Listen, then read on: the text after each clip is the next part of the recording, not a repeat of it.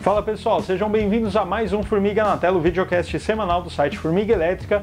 E esse vídeo, que é o último vídeo de 2022, todos os editores do Formiga Elétrica, eu, o Daniel, o Rafa, o Paulo e a Bia, decidimos pegar um filme que nos marcou de 2022, não necessariamente o melhor filme, uma lista dos melhores filmes, não, nada disso. Cada um decidiu pegar um filme que foi marcante para o ano de 2022 e servir aqui nesse vídeo como uma indicação para vocês, beleza? Então, vamos aos escolhidos.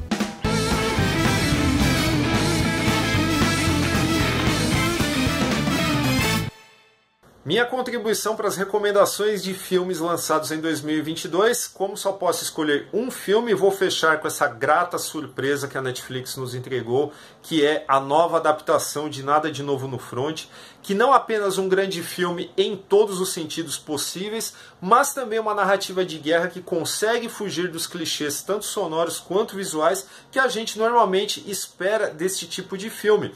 O diretor Edward Berger ele consegue dar o seu recado, consegue expor o, o, fator de vidas humanas descartáveis dentro de um contexto como esse, a desilusão dentro de um campo de batalha, a crueza, a violência gráfica demais, tudo isso é muito bem dosado no filme, ao mesmo tempo que ele se permite utilizar alguns planos mais contemplativos nos momentos mais tranquilos do filme, que até lembram um pouco Terence Malick ou Alejandro Inharrito em O Regresso. E o interessante é que em nenhum momento essas coisas se chocam, elas funcionam de uma forma muito orgânica para que no final a gente entenda realmente qual é a intenção dos realizadores com esse filme. Então, fica aqui a minha recomendação. Se você não viu nada de novo no front, veja. Uh, tenho absoluta certeza que cinéfilos em geral adorariam vê-lo numa tela grande porque deve ficar realmente maravilhoso, mas em casa já é uma experiência mega impactante. Então, quem não viu, veja.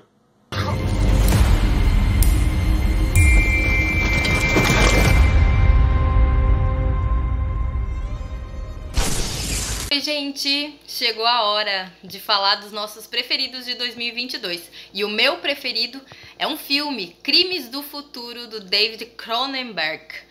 Tá longe de ser uma obra-prima dentro da filmografia dele, mas eu acho que é um filme que o Cronenberg parou para pensar sua própria obra. Tudo que ele já produziu, de certa forma, aparece dentro do Crimes do Futuro.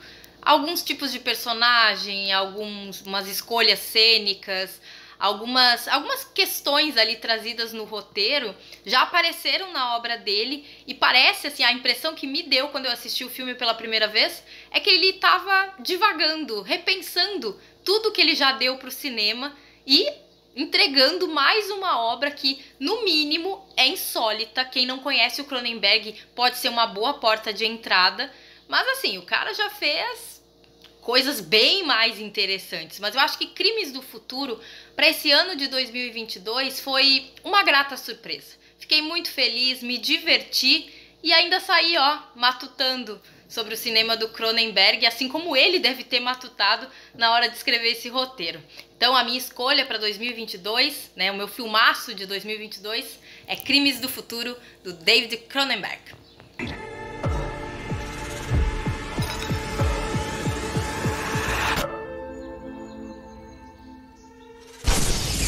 Bom, aqui no meu caso eu decidi escolher O Homem do Norte, realmente foi um filme que me marcou muito esse ano, além de ser um filme que eu já estava esperando por conta do seu diretor, o Robert Eggers, o filme ainda assim me surpreendeu muito, principalmente na questão visual e no estilo narrativo escolhido pelo diretor. Eu acho que é um filme hipnotizante, é um filme que você começa a assistir e não consegue parar de ver, porque visualmente ele é soberbo tanto na questão da direção de arte quanto da fotografia. Além disso, a própria montagem, ela guia você numa história que, por mais que seja uma história até muito conhecida, né, a história do Hamlet, ainda assim é um filme que ele consegue te surpreender, é uma narrativa que carrega você como espectador e faz com que a história pareça inédita aos seus olhos. É um filme extremamente intenso, é um filme extremamente brutal e é um filme que tem uma cadência que eu particularmente gosto muito. Eu gosto desses filmes um pouco mais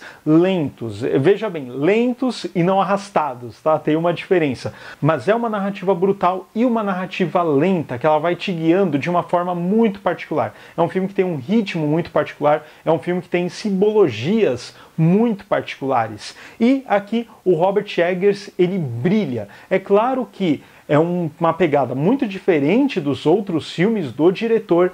Entretanto, aqui você ainda assim consegue ver a marca do Eggers, tanto na questão visual quanto na questão das escolhas narrativas que o diretor realiza. Então, por conta de tudo isso, por conta de toda essa intensidade que o filme carrega, O Homem do Norte definitivamente foi um dos filmes mais marcantes que eu assisti no ano de 2022.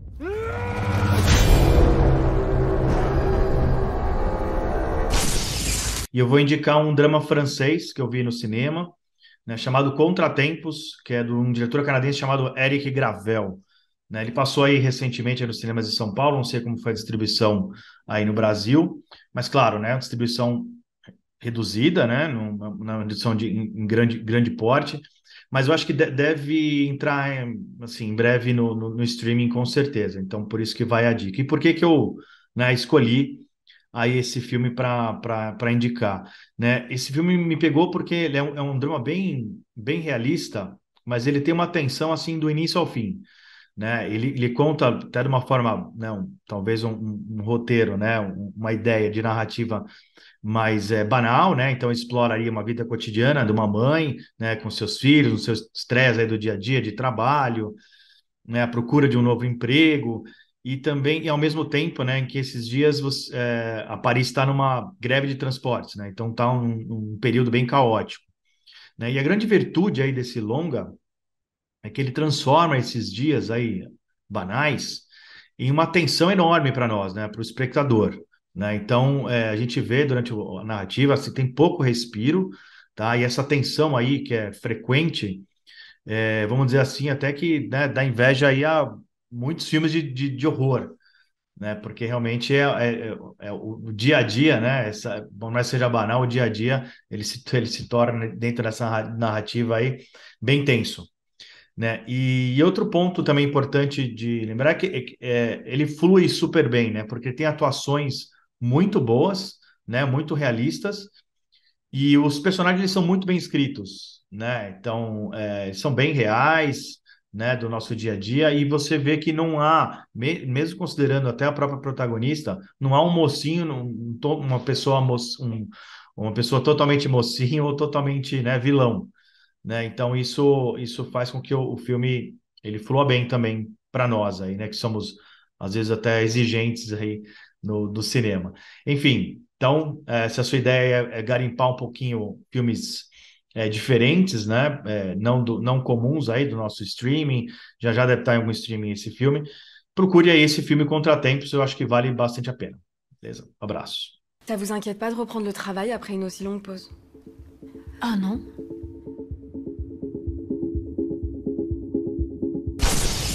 Bom, pessoal, a minha dica é Tico e Teco, Defensores da Lei. É sério.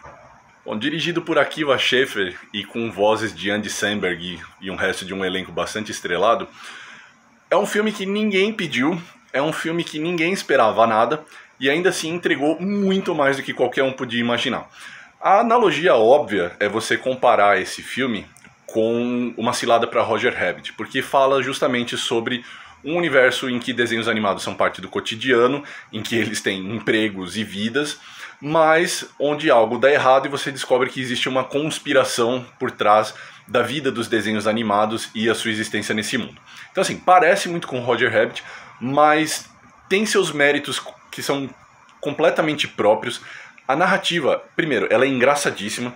Segundo, o uso de metalinguagem e a escolha das gags é simplesmente genial.